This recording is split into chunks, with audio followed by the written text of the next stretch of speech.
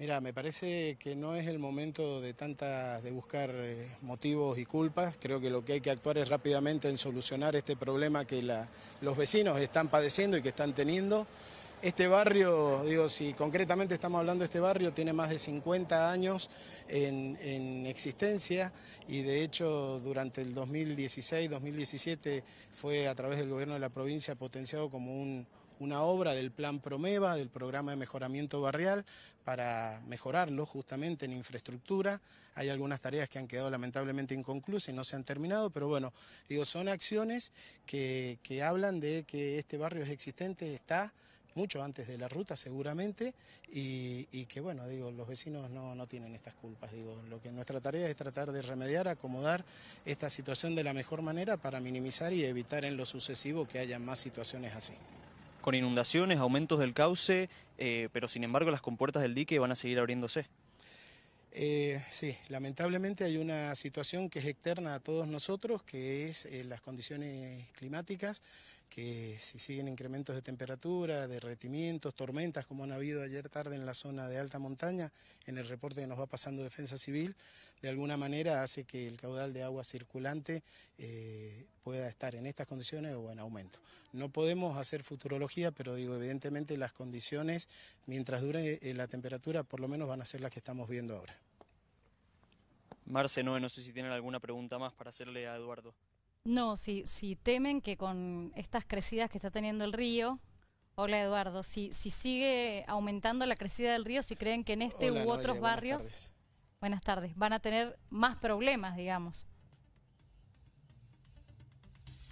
Eh, en el caso no te podría hablar de los otros departamentos hacia aguas arriba de Maipú o hacia aguas abajo, sí te puedo decir que en este sector, esta zona donde estamos trabajando y donde vamos a afectar todos los recursos, Digo, esta mañana nuestro intendente ha desviado, dio orden de desviar equipos de Maipú hacia esta zona, es eh, trabajar a, evitar que no ocurra, eh, y Dios quiera que no ocurra.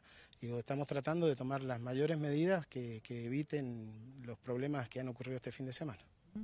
Y puntualmente a las familias, a estas familias afectadas, bueno, sabemos que están ayudando, pero ¿cuál, cuál va a ser la ayuda concreta? ¿Hasta dónde puede ayudar la municipalidad? Porque las casas van a estar, van a estar en el mismo lugar, ¿cierto? Se van a seguir, digo, manteniendo en el mismo lugar, no se pueden, no se puede hacer nada con eso.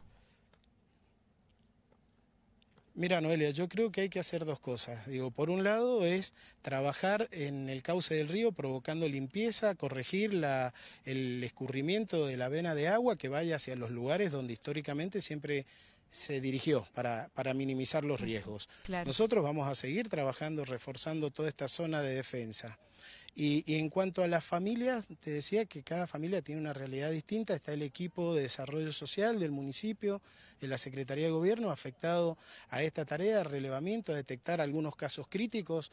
En algunos casos hemos asistido con módulos eh, comestibles, en otros con colchones, en otros con movilidad, camiones para trasladarlos a lugares de familiares cercanos más, más seguros. Y una vez que logremos contener la situación, realizaremos las inspecciones técnicas necesarias para garantizar que las casas, como consecuencia de la humedad, no estén sometidas a ningún riesgo, ¿no?